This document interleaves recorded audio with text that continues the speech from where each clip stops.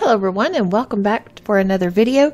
Today we are going to be working on four different cards using the stamp set from the November Simon Says Stamp 2020 card kit, Big Thanks Autumn, and that is the same name as the, the stamp set. And I really love the big flower stamp in this stamp set, so I wanted to do it a few different ways. So we're going to start off here by blending some Distress ink on some Bristol Smooth cardstock and I will have all my uh, ink colors and later on Copic colors listed over on my blog or you can see them here on the screen if you want to pause the video. So, uh, you know, get yourself cup of coffee, glass of wine, whatever time of day you're you're watching this and settle in and um, I'm going to show you four different things. So first we're going to start off with doing the backgrounds. So like I said, this one is Distress Oxide on Bristol Smooth. And actually, that's the only background. I'm sorry. That's the only background that we're going to use. So the other papers we're going to use, we're going to use Arteza um, watercolor paper. I think that's the Expert watercolor paper. We're going to use some black mixed media paper. And then we're going to use some Neenah Classic Crest paper in uh, 80 pound stock. And those are going to be what we're going to stamp our um, image on from the stamp set.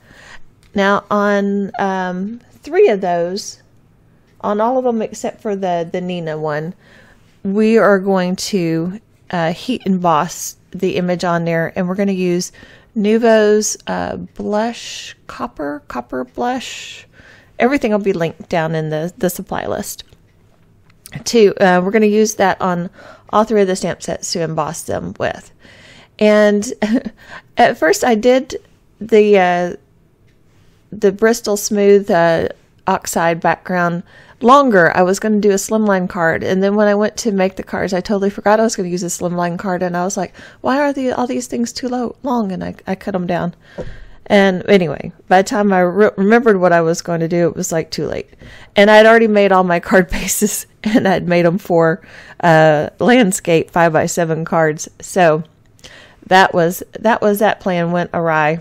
But anyway, so I um, stamped everything with Simon Says Stamp Clear Embossing ink but first, before I stamped on this ink blended panel, I wanted to make sure that it was good and dry. So I went over it with my anti-static uh, powder and then I just dumped on some embossing uh, powder and and uh, see if it was any of it sticks. Some of it did stick, so I did hit it with my heat tool again. You want to make sure that your ink blending is good and dry so you don't have any stray embossing powder sticking where you don't want it to stick.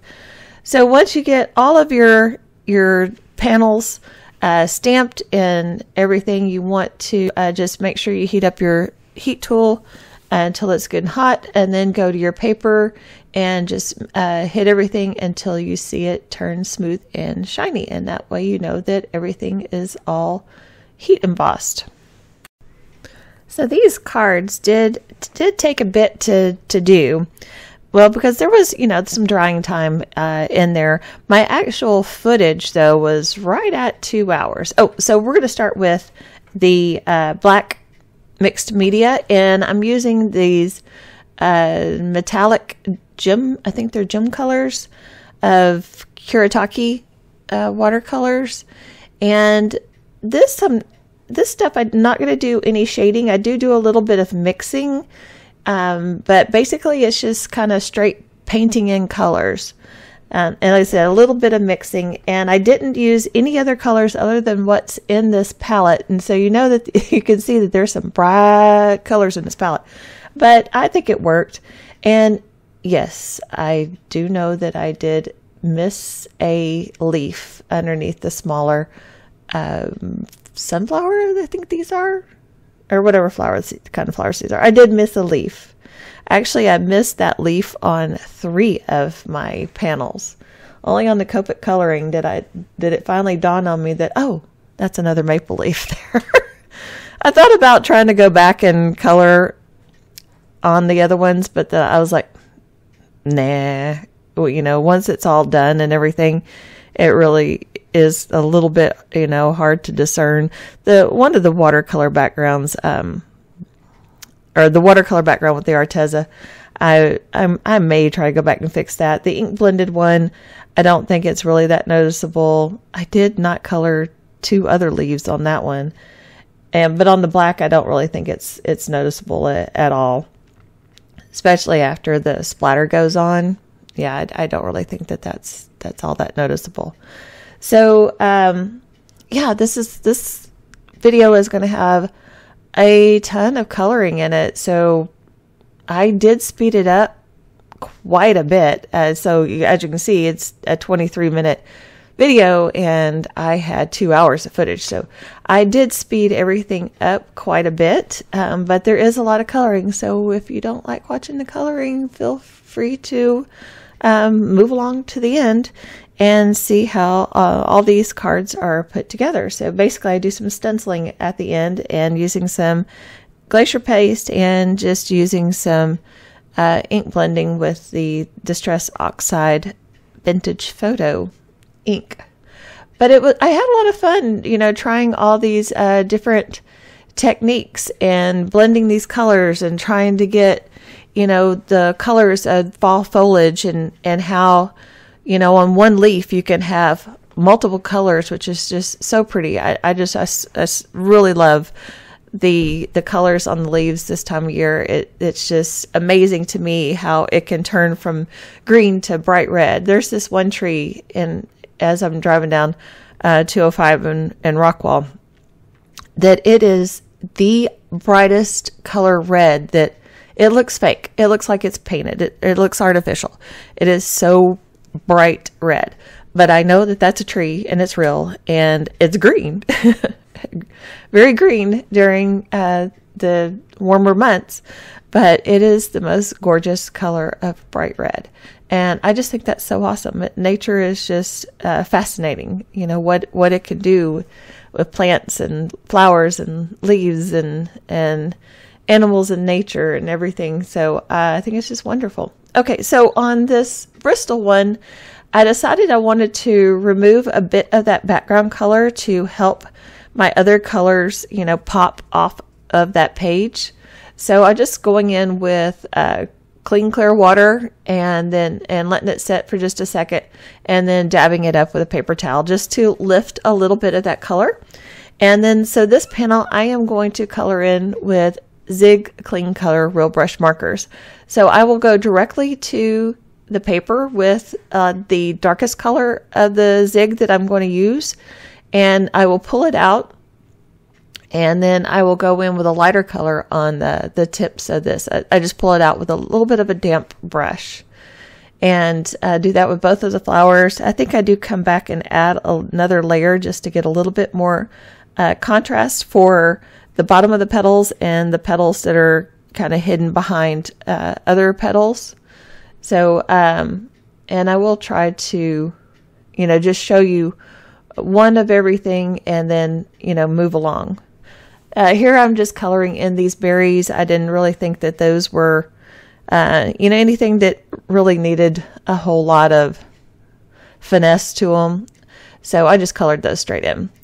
And so here I'm trying a, a, green and a yellow together. I think that blended together really pretty. Probably could have used a little bit more green in the bottom just to have that little bit more pop of that color. Um, but so I'm just trying different colors, mixing them together, thinking about what you know I've seen about town in the different uh, trees and everything, and just try to you know replicate that the the best that I can. And I, I really love the uh, the dark burgundy with the with the yellow, but with the green it uh, it really really looks pretty. I will get to that one I think here in a in a second. That is that other maple leaf that have a color. Yeah, yeah. So I'll go in with this burgundy color. I think it's carmine red actually. And like I said I will have all the colors over on my on my coordinating blog post for this, which will be linked down in the video description below. But I think though that blend uh, turned out really well. So this was just a lot of fun to to get all these different shades to pop together and everything. And those uh, so many different kinds of leaves on here. Those ones with little sections, I, I couldn't quite figure out how to uh, color them. I color them, I think, a little bit different in each one of my panels. And see, um, I want to say the the one that was probably the most challenging was probably the the straight watercolor maybe yeah probably the straight watercolor because I, I just got these um, arteza watercolors and so i'm still you know learning them and figuring out you know how much water i need and you know what colors go together and how do you know do i do a, a dry technique a wet technique you know. You've got to really you know, work with your mediums and experiment with them and get used to them uh, until you're, you know, totally comfortable with them and know how they're going to react and everything. This is the Arteza watercolors. Um, but in the 60, I, I bought the box of 60, which was not a large investment as far as watercolors go because watercolors can be very expensive. And I know these are probably not the best watercolors, but for a beginner, I, I got a lot of colors at a great price and I'm learning a new medium.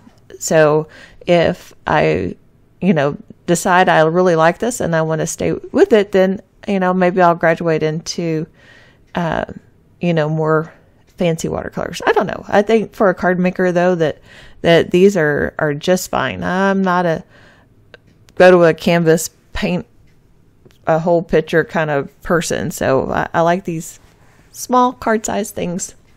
So probably I will just stick with these. Now I did invest in the Kuretake uh, metallics, and I will use the the Starry Nights at the very end the gold out of there to do the splatter on all my cards. Those are a little bit of investment, not bad. So um, if you want some metallics, uh, you know they're they're not bad. Altenew makes some metallics too that are um, I've seen other people use, and they seem to really like them, and their their uh, pictures look really pretty. So um, that's another one to look at if you're interested in metallics because on dark cardstocks. The metallics just are so pretty. And like I said, I, I wanted to get the Starry Nights because that's different shades of gold to do uh, different splatters with. So I just used the gold that I thought went well with all three of my panels so I wasn't uh, making a mess, cleaning it up, making a mess, cleaning up, using different ones on all my panels. So, uh, yeah, that that was that was that decision. Okay, so what next? Um, I will have an unboxing video of a Gina K kit that I bought, and it came in yesterday. So um, I am going to film that next and have that. And it is a Christmas card kit. So I think I'm going to start my Christmas official Christmas card series with that. And I'm, I'm so excited to get into Christmas cards. I wanted to get through a few uh, fall and Thanksgiving thankful uh, themed cards because the Simon kit was totally beautiful. I, I really love that. I did get some Echo Park stuff that I uh, used in some backgrounds here and there on some other things that I did, but I didn't really do a whole lot of filming with that one, and and that was such a, a pity too because that those were some really beautiful uh, uh, papers there. I think uh, it, it they always are very pretty and I, I love their papers but time time time time i wish there was more of it. Nope don't we all? But uh, well maybe not so much in this year. This anyway. Um but i am uh, looking forward to getting into christmas cards and i still need to do my november uh, one for the christmas craft creations challenge blog that I am a, a member of. So, ah, so many things to do and uh, so many decisions to, to make on the construction of the winery. Oh my goodness. Okay, um, back to the card here real quick. And now I'm starting on the Copic coloring one. And I started with this one combination there and it was it was not working well for me. I, I had to add in a fourth color uh, because I needed another middle transition color because it just it just quite what wasn't quite working and so I will add that in here in a second and uh, that will start looking a lot better didn't really like the way it looked so yeah there I there I added in that other color and then it, it really started coming together uh, nicely and by this time this was the last one that I did so I was uh, starting to get a bit um, ready to be done with this project. And so I, did, I was a little bit messy here and there. So I ended up having to uh, do a pretty uh, heavy outline around um, the whole image with uh, some gray markers. I think I used the neutrals or the toners. I think the neutral grays I used. And so um, but it did cover, color up my uh, my messy coloring, so that was that was good. It was this leaf right here that really got messy because you know reds bleed like crazy, and I I couldn't get it to to go out to the yellow that I wanted to. I kept scrubbing and scrubbing and and adding different colors. And uh, yeah, it just it just started bleeding and it it bled out.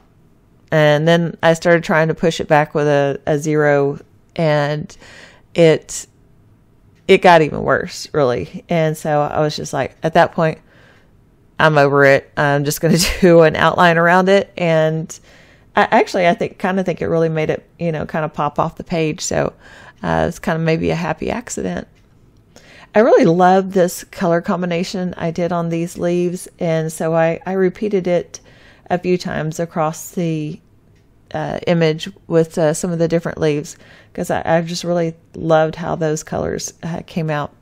So pretty. And I said, we'll have everything over on the blog if you're interested. And I'm really interested in what you think. Well, which one of these was your favorite? And, you know, what new mediums are y'all working on? Um, and are you wanting to experiment with any new mediums? So I'm I'm always wanting to push myself and learn something uh, new, and so that's why I recently you know invested in the watercolors and things. But um, my you know love is Copic coloring, and I've been doing that for a while. But uh, please do tell me which which card that you liked, and maybe a little bit about why you liked it. You know, um, the colors or uh, the overall way I put together the card because I did put together each of them a, a tad bit different, although they're similar, uh, except for the black one. That one's kind of just totally different. And I really kind of struggled with what I wanted to do with that one. And that one's probably, as far as the overall card, my, my least favorite. Um, I think my favorite is probably the Copic one. My second favorite is probably the one with the oxide background. Um, but that's just me. So I, I want to know what, what you all think. And um, you know, if there's anything that you want to see in the Christmas cards, uh, let me know. I would be happy to, uh, you know, get some feedback from, you know, you folks that watch my stuff and, and what you might want to, you know, see any kind of uh, techniques or you, the use of uh, stencils or paste or uh, ink blending or embossing folders. There's some great new uh, 3D embossing folders, and um, Simon Says Stamp just came out with some in their Holly Jolly release. And so, I yeah, I wasn't gonna buy anything else, but I did. I bought I bought uh, a couple of those embossing folders. I think a couple other things off of their Holly Jolly release because there was a lot of really cute things in there. So yeah, I did buy a couple of more things and I did get my notification that it shipped already. Their shipping is getting way faster, which is so nice. Uh, especially, you know, through the, you know, onset of COVID. Well, they weren't shipping at all. And then when they started shipping, they were so far behind that, you know, it took weeks to get anything. So now I think they're getting things out within days and, they're in Ohio and I'm in Texas, so it takes about uh, three days for me to get three to four days, and it comes uh, USPS. Oh, here's those Starry Night uh, colors. So I just put a lot of water in there and stirred it up really good. You want to stir those up really good and get that shimmer powder, mica powder, whatever it is in there that makes it sparkly. Get that stuff all mixed in there, and um, I just went to town splattering things. And then uh, in the end, I just took my paintbrush and just dabbed around a little bit. I wanted a, a few uh, bigger spots of of gold, so yeah, I just dabbed around a little bit. And sometimes it's hard to get it to you know when you're flicking just to get it to go exactly where you want to go. So um, I did all the insides the same. I just used some of the other images and stamped it in that vintage photo oxide uh, distressed ink. Uh, lost my train of thought. Okay, so this is a layering stencil from uh, Tim Holtz. It is called Flourish, and I'm using some Nuvo embellishment mousse in copper, and I'm using one of the Nuvo little uh, uh, palette knives here. It is those one of those silicone things, and um, I really liked it. I think it worked really well for uh, spreading that around. This is actually my first time to use it. I bought them, and this is my actually my first time to use them. And so on my embellishment mousse, you may have noticed that there was uh, something over the top other than the foil that uh, comes on there. It is press and seal.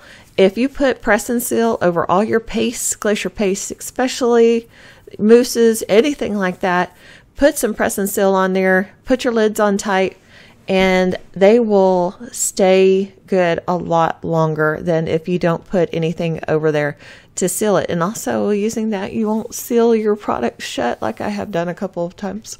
Um, but anyway, so this is the one that I just used the Distress ink and ink blended that uh, stencil on. So now we're on to the assembly of the cards. I used my uh, Misty Creative Corner uh, little angle thing there that uh, came in that kit just to get my uh, sentiment straight. And I used the big thanks on that came on the stamp set and ju- on just that one. And I foam taped uh, quite a few things up just to give some dimension. The only one that's just totally flat is the black one. And again, just using that to get that straight on there. Oh no, I did use the big thanks on that one. I forgot. I forgot. Two of them I used the big thanks on. Then two of them I used a sentiment that w- was on that sheet that came in the kit. I just cut a, uh, down a couple of those and uh, used them on the front of the card. And then, uh, oh, the, the that background is Neenah Desert Storm on that card. So that's it. That's all the cards for today. Again, please let me know which one is your favorite and I will see you soon in the next video. Thanks for watching.